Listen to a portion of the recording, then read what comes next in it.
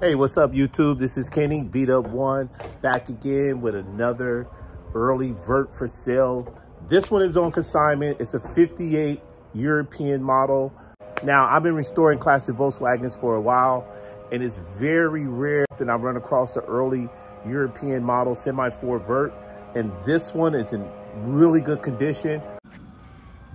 All right, here's 58 European convertible. I'm gonna give it a quick facelift. And um, it's for sale, it's on the market. Um, solid European model, semaphores.